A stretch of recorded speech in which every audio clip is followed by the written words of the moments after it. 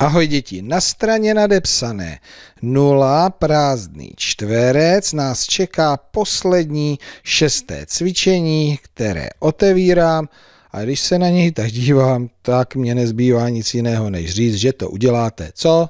Samostatně. Takže nejdříve si přečtěte zadání, vyřešte a za chvíli po přerušení videa se zase sejdeme a porovnáme.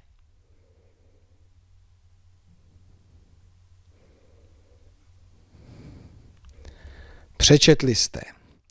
Vybarví políčko s číslem 0 světle modrou barvou a políčko s pětkou tmavě modrou barvou.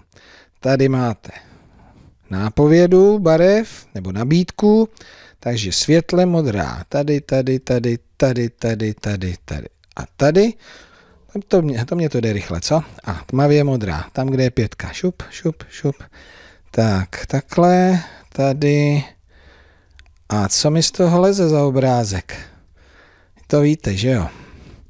Iglu, iglu a to je udělané ze sněhu a z ledu, takže proto tady je samá modrá barva. Pro jistotu, kdyby náhodou někdo nevěřil, tak takhle to má vypadat a já si myslím, že to takhle vypadá v každém sešitě, ve kterém bylo vypracováno toto krátké cvičení.